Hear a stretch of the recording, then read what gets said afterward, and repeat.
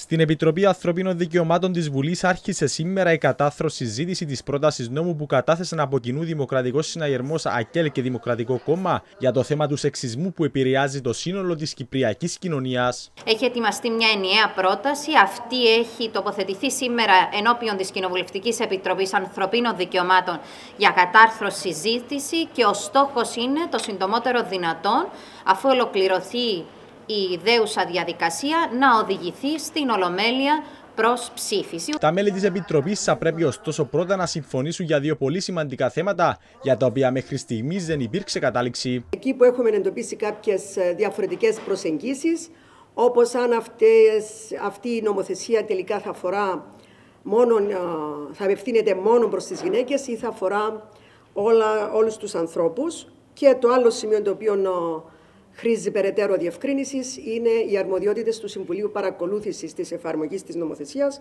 Οι ποινές οι οποίες συζητούνται για τους παραβάτες θα είναι ένα χρόνο φυλάκισης αλλά και χρηματικό ποσό που μπορεί να φτάσει μέχρι τις 10.000 ευρώ. Ωστόσο, ούτε σε αυτή την πρόνοια της νομοθεσίας έχει υπάρξει ακόμα συμφωνία.